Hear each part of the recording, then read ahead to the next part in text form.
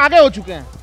देखिए इनकी नैतिकता देखिए अपने विधायक को ये माल कह रहे हैं और इनको अपने माल पे भरोसा नहीं है। इनको अपने माल पे भरोसा नहीं इनका माल इतना कच्चा है कि कभी इधर और कभी उधर। पार्टी भी तो रिज़ल्ट बुक कर रही है ना इसका समर्थन कैसे किया जा सकता है? बीजेपी भी कर रही है नहीं राजनीतिक विश्लेषक है आप किसी पार्टी के देखिए आश्चर्य की बात है रिजॉर्ट पॉलिटिक्स को किस तरीके से इंडोर्स करा जा रहा है और ये लोकतंत्र के लिए कितनी खतरनाक बात है उस पर कोई डिस्कशन नहीं करने को तैयार हो रहा है। वसुंधरा राजे जो निर्दलीय वसुंधरा के समर्थक लड़ रहे हैं उसको वसुंधरा राजे ने परसों ही शिफ्ट कर दिया है। तो ये कांग्रेस बीजेपी दोनों का कल्चर है। हाँ बिल्कुल और ये कल्चर जो शुरू किया है वो किसने शुरू किया है? मैडम से पूछे ना। मैं क्यों पूछे बना, ट्रेंड बनाने वाली बीजेपी आप देख लीजिए कितनी सरकारों को इस तरीके से जो है मैनेज किया गया मैनिपुलेट किया गया आप इस चीज़ को देख लीजिए मध्य प्रदेश में क्या हुआ था? पिछले इलेक्शन अच्छा राज, राजस्थान अध्यक्ष सीपी जोशी कुछ को सुन लेते हैं वो क्या बोल उसका परिणाम है कि जनता ने आज इनकी विदाई तय कर दी और भारतीय जनता पार्टी की सरकार बन इस बार रही कितने पार? इस बार कितने पार? है देखिए मैं शुरुआत से कह रहा हूँ 135 प्लस और ऊपर कितने जाएँगे ये अब शाम को पता लगेगा। राजस्थान में बीजेपी इस वक्त 106 पर आगे छत्तीसगढ़ में सैंतालीस पर आगे। सबसे चौंकाने वाले नतीजे अगर कहे जाएँ तो छत्तीसगढ़ के दिख रहे हैं। कोई विश्लेषक कोई पोल कोई एक्सपर्ट ये नहीं कह रहा था कि छत्तीसगढ़ में बीजेपी आगे हो सकती है। सब सर हम सुबह से कह रहे थे और एक दूसरी बात बताता हूँ छत्तीसगढ़ के लोग बड़े शांति प्रिय हैं मृदुल भाषी हैं और भूपेश बघेल उनके लिए बहुत लाउड थे। उन्हें रमन सिंह ही चाहिए वापस। जी शालिनी जी शालिनी के बाद चलते हैं। किशोर गौरव वल्लभ को हम सभी जानते हैं बड़े प्रमुख चेहरे हैं टीवी के ऊपर और वो अभी फ़िलहाल पीछे होते हुए मुझे यहाँ पर दिखाई दे रहे हैं। गौरव वल्लभ काफ़ी अ, 700 से ज़्यादा वोटों से मुझे पीछे दिखाई दे रहे हैं। कांग्रेस के प्रमुख चेहरे इसके अलावा तेलंगाना में बड़े चेहरों में उलटफेर हुआ है। मोहम्मद अजरुद्दीन सुबह से आगे चल रहे थे अब पीछे हो गए हैं। टी राजा जो कि गोशा महल से सुबह से पीछे चल रहे थे अब आगे हो गए सत्रह सौ वोट से आगे सीटों से आगे चलते हुए दिखाई दे रहे हैं। इसके अलावा मध्य प्रदेश में 28 सीट ऐसी हैं जिनमें 500 से भी कम वोटों का अंतर है शालिनी। वो भी बता दीजिए। बीजेपी और कांग्रेस के अंदर 500 से भी कम 28 सीट ऐसी हैं जिनमें कम से वोट अच्छा वो सारी की सारी ऐसे पलट जाएँगी कांग्रेस के पक्ष में ये भी तो नहीं वो किधर भी जा सकती है ना कहीं भी जा दर्शाती है कि बहुत जो है टक्कर का वोटर्स जो है एकदम अपना माइंड मेकअप इस तरीके से नहीं कर पाए थे कि वो अच्छा मैं मैं रोक रहा हूँ प्रहलाद सिंह पटेल प्रहलाद सिंह पटेल जी को सुन लेते हैं। मध्य प्रदेश में बीजेपी इस वक्त एक सौ उनचास पर। इसके पीछे कारण है कि हमारे जो चार स्तंभ हैं, गरीब कल्याण का संकल्प, महिला सशक्तिकरण का संकल्प, हमारे बच्चों की ज़िंदगी हमसे बेहतर हो और इस देश की अर्थव्यवस्था की भीड़ किसान को सम्मान भी मिले और उसके मेहनत की जो उपज उसकी सही कीमत मिले ये चार चीज़ें हैं और जो कार्य प्रणाली का अंतर है मोदी सरकार का, जो हम कहते हैं वो करते हैं, ये भरोसे नहीं, चूक नहीं।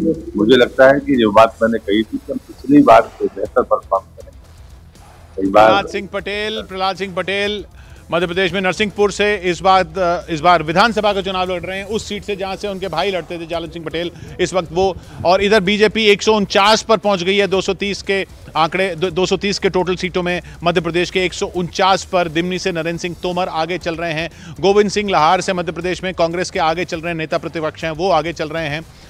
इधर, पीछे चल रहे हैं दानिश अबरार, सवाई माधोपुर राजस्थान से सीएम गहलोत के सलाहकार हैं, दानिश अबरार, वो पीछे चल रहे हैं। और सचिन पायलट टोंक से पीछे चल रहे हैं, बड़ी खबर ये। लेकिन सबसे बड़ी खबर इस वक्त अभी भी छत्तीसगढ़ बनी हुई। नब्बे में छियालीस, नब्बे में सैंतालीस, नब्बे में सैंतालीस बीजेपी। देखिए, वहाँ पे आदिवासी फैक्टर आप देखिए। वहाँ पे आदिवासियों का जो बोला गया था कि बीजेपी ने उसका अपमान किया, वो कुछ भी नहीं दिख रहा। दूसरी बात, सूत्रों से ये खबर मिली है कि जो कांग्रेस है अपने विधायकों का, फ़ोन तक छीन लिया और फाइव स्टार होटल में बंद कर रहे हैं। तो जो ये बसेस लगाए जा रहे हैं तेलंगाना में ये कौन से सूत्र है पाठक जी? ये सूत्र वो तो नहीं है। ये वही सूत्र है जो कौशिक साहब को व्हाट्सअप कर रहे हैं। वो सूत्र तो नहीं है जो आसाम में आसाम में शिफ्ट किया था। न्यूज़ जो है सूत्रों पे चलता है। को शिवसेना के विधायकों को आसाम जो शिफ्ट किया था वो वाले सूत्र तो नहीं दिखा रहे मुझे मैं ढूंढ रहा हूँ कि कोई आपके हैं कि नहीं यहाँ पर। आपके तो सब है। आपके तो सब भाई। एक सौ इक्यावन बीजेपी 230 में बीजेपी एक सौ इक्यावन मध्य प्रदेश में। डे एक सौ बावन बीजेपी एक सौ बावन जो डेढ़ सौ पार की बातें हो रही थी बीजेपी वहीं जा रही है। इन रुझानों से एक चीज़ तो पक्का है 2024 में बीजेपी 400 पार जाने वाली है ये पक्की बात है मनोज जी मनोज जी मनोज जी बुला रहे हैं हमें। जी मनोज जी। जी जी। किशोर जी, ये साफ़ साफ़ दिखाता है कि किस तरह से मध्य प्रदेश के अंदर पांचवी बार भारतीय जनता पार्टी की सरकार बनने जा रही है। तो ये साफ़ साफ़ दिखाता है कि किस तरह से जनता जनार्दन के हितों में, हितों के लिए भारतीय जनता पार्टी समर्पित रहती है। चाहे वो लाडली बहन योजना हो, चाहे युवाओं के लिए काम किया गया हो, चाहे बुज़ुर्गों के लिए काम किया गया हो, चाहे किसानों के लिए बारह हज़ार पीएम सम्मान निधि देने का हमने काम किया। इसी तरह गुजरात में भी आप, आपने देखा किस तरह से लगातार हम सरकारें बना रहे और इनके शासन का कुशासन में देखिए राजस्थान में किस तरह से ये लोग बोल रहे थे कि नहीं ओपीएस का बहुत अच्छा मुद्दा है ओपीएस बहुत अच्छे से काम करेगा। छत्तीसगढ़ में तो भूपेश बघेल का इतना महिमा मंडन किया जा रहा था कि भूपेश बघेल से बढ़िया तो कुछ कोई कर ही नहीं सकता। बस्तर रीजन के अंदर हमको जब पहले आकलन दे रहे थे, बारह सीटें हैं बस्तर क्षेत्र के अंदर, चाहे कांकेर हो, दंतेवाड़ा हो कोंटा, बीजापुर, इन सीटों के जगदलपुर में भी हम लोग जीतने वाले हैं। सरगुजा में आदिवासियों ने बहुत हमें भरपूर वहाँ पर समर्थन दिया है, क्योंकि आदिवासियों के लिए चाहे रेल योजना हो नगरनार एक प्रोजेक्ट माननीय नरेंद्र मोदी जी ने वाला लगाने का काम किया। डेढ़ लाख से ज़्यादा लोगों को वहाँ रोज़गार मिलेगा और कांग्रेस पार्टी ने वहाँ पर बंद बुलाने का काम किया। यानी कांग्रेस पार्टी रोज़गार देने के पक्ष में तो कभी रही नहीं वो तो बेरोजगारी भत्ता देती है। और साथ में जब नरेंद्र मोदी जी वहाँ पर रोज़गार देने वाली योजना लेकर के आए तो छत्तीसगढ़ की बातें जो कह रहे हैं ये सुबह तक कोई नहीं मान रहा था कि बीजेपी छत्तीसगढ़ में इस तरह से आगे हो सकती है।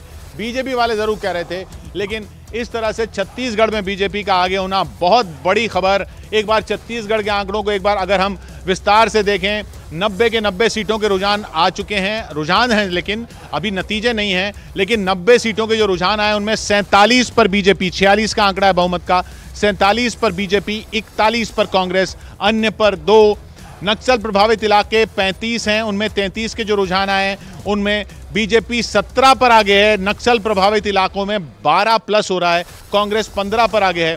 आदिवासी फैक्टर वाले 32 जो इलाके हैं 33 में, उनमें 18 पर बीजेपी आ गया है, वो 15 प्लस हो रहा है। बीजेपी आदिवासी इलाकों में, नक्सल इलाकों में कांग्रेस से बहुत बड़ा गेन ले रही है। जिलों की अगर बात करें तो सरगुजा में एक सीट छीन रही है बीजेपी कांग्रेस से। उधर सूरजपुर में दो सीटें सीट छीन रही है कांग्रेस से। कांग्रेस एक सीट कोरबा में ज़रूर छीन रही है बीजेपी से, लेकिन छत्तीसगढ़ के जिलों में बालोद में एक सीट बीजेपी कांग्रेस से जीत रही है। बलौदा बाज़ार से ज़रूर एक नुकसान हो रहा है बीजेपी को। तो जिलों में ज़रूर इधर उधर हो रहा है, लेकिन बड़ा बड़ा, बड़ी तस्वीर आदिवासी फैक्टर और नक्सल प्रभावित इलाके जो हैं, इन दोनों दोनों फैक्टरों में बीजेपी कांग्रेस से बहुत बड़ा गेन कर रही है।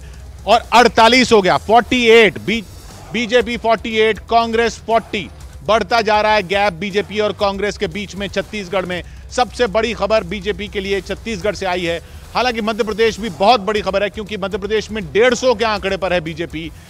जो कांटे का मुकाबला बताया जा रहा था, वो बिल्कुल कांटे का नहीं है मध्य प्रदेश में। राजस्थान में ज़रूर बढ़त बताई जा रही थी। बीजेपी को वो बढ़त है और उससे ज़्यादा है जितनी बताई जा रही थी इस वक्त 109 कांग्रेस के लिए सिर्फ़ और सिर्फ़ अच्छी खबर तेलंगाना से है, जहाँ उसने बीआरएस की सत्ता को पलट दिया है। ऐसा लग रहा है। लेकिन बड़ी खबर, छत्तीसगढ़ के लिए बीजेपी और उधर अमित पांडे हमारे साथ यहाँ पर मौजूद हैं, दिल्ली बीजेपी दफ्तर से, मुख्यालय से। अमित, बीजेपी के लिए बहुत अच्छी खबर तीनों राज्यों से। और तीन राज्यों से किशोर जैसे ही अच्छी खबर आई है देखिए मैं तस्वीरें आपको यहाँ से दिखाना चाह रहा हूँ। लोग प्रधानमंत्री मोदी के कटआउट लेकर यहाँ पर आ गए हैं और अभी थोड़ी देर पहले और नारियल यहाँ पर फोड़ा गया है और लोग यहाँ पर मौजूद हैं।